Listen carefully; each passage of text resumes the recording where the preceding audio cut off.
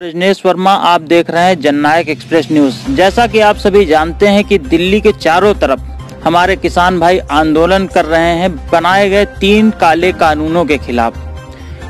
और यह आंदोलन लगभग एक महीने से भी ज़्यादा जारी है। उसी को देखते हुए आज हम लोग पुरैना गाँव में आए हैं और आज यहाँ के किसानों से जानेंगे कि ये जो कानून जो सरकार के द्वारा बनाए गए हैं, ये कितने सही हैं या गलत हैं।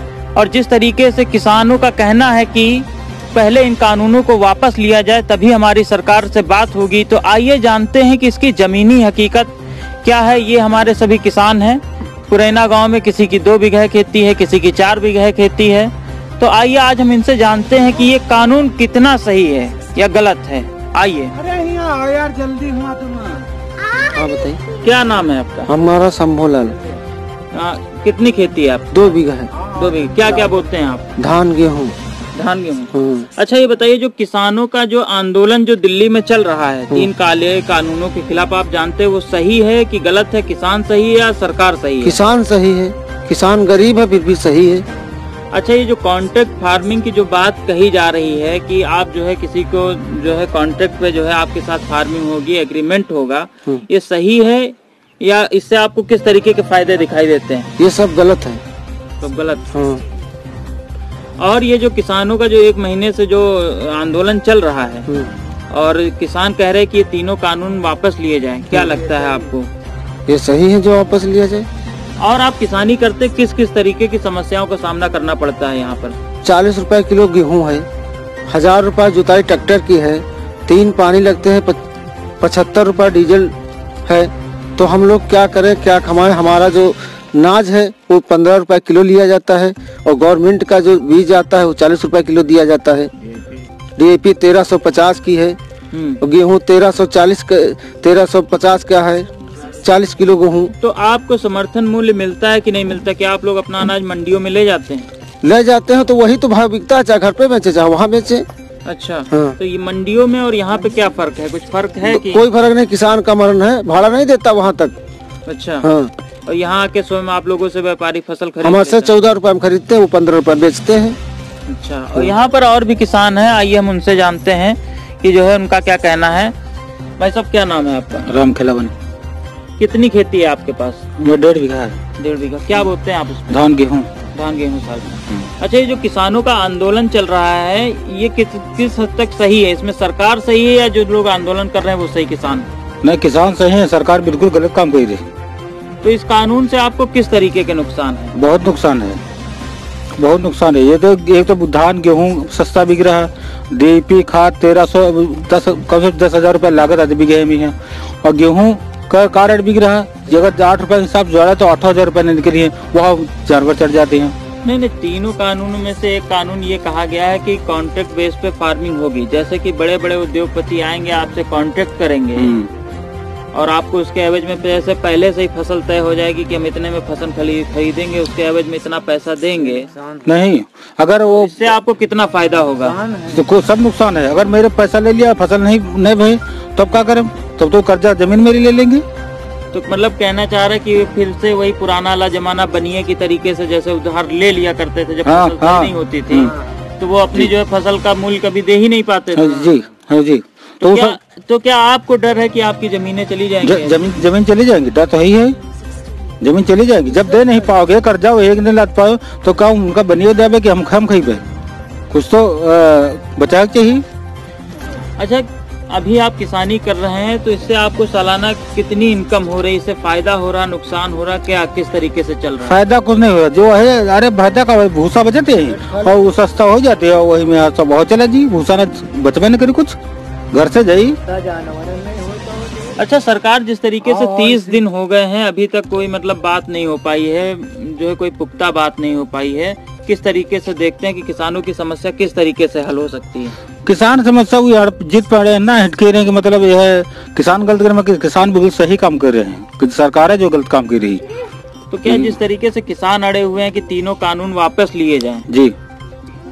मतलब सरकार कह रही है कि हम जो है कुछ बातों पे सहमति बना सकते हैं कुछ मुद्दों पे सहमति बना सकते हैं लेकिन किसान कह रहे हैं कि पहले पूरे कानून वापस लिए जाए उसके बाद बात होगी। क्या लगता है कितना सही है? तो बिल्कुल सही है सहमति लोग कोई बात है अपन कानून वापस लें। तो क्या आप लोग भी समर्थन करने जाएँगे दिल्ली? हाँ जाए जाएँगे। हाँ। ठीक है यहाँ पे और भी किसान है आइए हम उनसे जानते हैं दादा। थोड़ा आगे आ जाइए। क्या नाम है दादा हमारा नाम भैया भगवती प्रसाद। क्या कहना चाहेंगे जो तीन जो कानून जो बनाए हैं सरकार ने? हाँ। ये किसानों के लिए कितना फ़ायदेमंद साबित होंगे या नुकसान देंगे? ये भैया बहुत नुकसानदायक है। ये जल हम जब ते महात्मा गांधी सरकार जब ते देश आज़ाद बा तब ते ये कानून सब नहीं आई हैं। ये हम ज़्यादा बतलाना ही पड़ते हैं। जितनी समस्या किसानन पर है हम लोग इतना झेल रहे हैं कि भगवान ने जानता है। आवा समझ ये भैया कानून जो अपनी तीन लगाए हैं ये हटावे और पुराने हिसाब से ने जैसे है तब चलावे तो लोग हमारा पंचम जीवन है और नहीं तो जीवन बेकार है। आवा समझ क्या लगता है किस किस तरीके का नुकसान हो सकता है किसानों का? किसानों का भैया नुकसान का देखो डीआईपी है तेरह सौ साढ़े तेरह सौ माह है गेहूँ गेहूँ चालीस बयालीस रुपए में है जब हम लाए थे हन हाँ अपन बेचे हन बारह चौदह में यहाँ तो हमका घटा कुछ सब हो रही कुछ नहीं बच रहा है। ये ये हिसाबन हमारा जीवन कहाँ पार हो पाई? तो क्या आपको लगता है मोदी जी सही कर रहे हैं गलत कर रहे हैं क्या कर रहे हैं? हाँ, हमको मालूम रहा मोदी जी सरकार बहुत गलत है। आवा समझ ये बहुत गलत कर रहे हैं। ये जीना मुश्किल है यहाँ पर रहा जो कुछ है हरा है सब चले जा रहे हैं।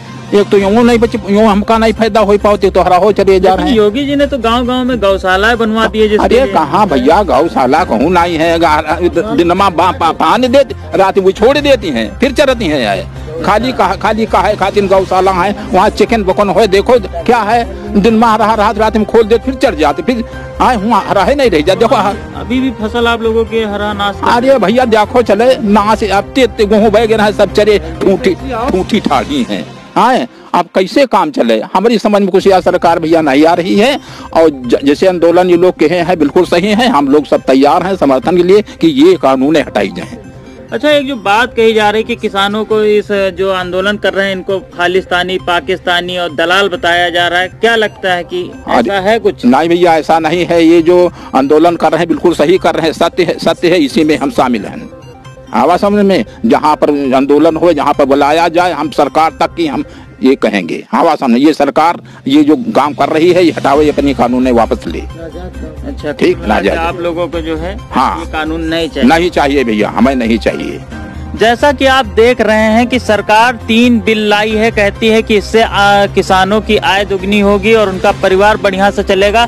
लेकिन यहाँ पर किसान खुद कह रहा है कि साहब हमको ये कानून नहीं चाहिए।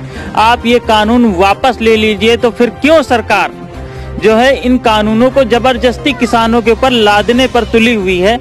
हमारे साथ कुछ और कुछ महिलाएँ भी हैं। आइए हम आपसे उन- उनसे मतलब बातचीत करते हैं, आपको दिखाते हैं कि जो है उनका क्या कहना है इस बिल को लेकर, जिस तरीके से जो है चल रहा है आंदोलन।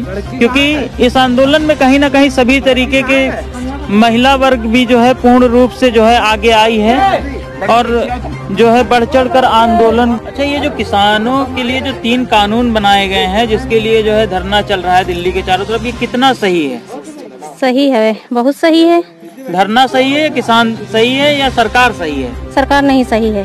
क्यों नहीं सही है सरकार? क्योंकि सब काहे ने मतलब महँगाई बढ़ा रही है। बिजली के बिल है और किसानन किने है जो लेना है और सब सब काहे पर महँगाई है। अच्छा ये जो बात कही जा रही है कि इससे जो है सरकार जो है किसानों की आय दोगुनी कर देगी इससे सरकार को फ़ायदा होगा। आपको क्या लगता है इससे सरकार इससे जो है फ़ायदा किसानों को होगा कि सरकारों को होगा कि उद्योगपतियों का होगा? कुछ किसानों को कुछ ना हो जो दुगनी कहती है वो दुगनी का ही नहीं पाते बड़े बड़े खा जाती है। अच्छा। यहाँ पर पहुँचते नहीं है छोटे लोगन किने अच्छा क्या यहाँ पे किसान जो है अपनी फ़सल मंडियों में जाके बेच पाता है कि नहीं बेच पाता? नहीं। और बाकी जो सुविधाएँ वो किस तरीके से आप लोगों को मिल रही हैं? अभी? अभी हम उन लोगों को कुछ नहीं मिलता है। दो हज़ार रूपए खाते में आया? नहीं है। जो किसान निधि वाला जो पैसा नहीं था कुछ नहीं मिला। और क्या कहना चाहेंगे आप इन समस्याओं पर? हाँ समस्या सब कुछ है। ए, ना हमको पेंशन मिलती है बत्ती क्या रहा है वो एक महीना में तीन हज़ार चार कर देती बताओ हम लोग कैसे दे पेबे मतलब तीन तीन चार चार हज़ार रूपए एक बीस दिन में आ जाती है। बिजली का बिल? बिल। क्या स्मार्ट मीटर लगा है? नहीं यही मीटर है। उसके बावजूद? के बाद मतलब कुछ नहीं चलता। ग्रामीण एरिया में आप लोगों का एक महीने का बिल? एक बीस दिन का। बीस दिन का बिल हाँ। कितना आता है? तीन हज़ार आया है।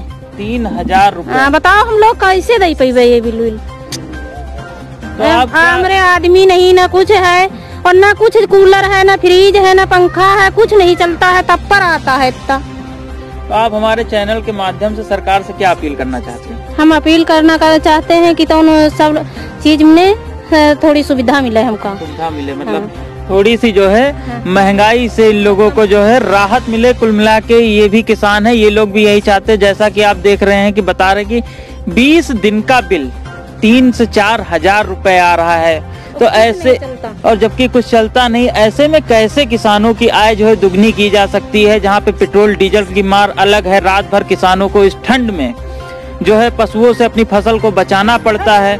और अभी दिल्ली के चारों ओर जिस तरीके से हमारे किसान भाई जो है डटे हुए हैं कि काले कानूनों को लेकर और उसके बाद भी सरकार जिस तरीके का रवैया रखी है उसे देखने के बाद ये कहा जा सकता है कि अभी ये किसानों का दंगल बहुत ही लंबा चलेगा। लखनऊ से जननायक एक्सप्रेस न्यूज़ के लिए रजनेश वर्मा।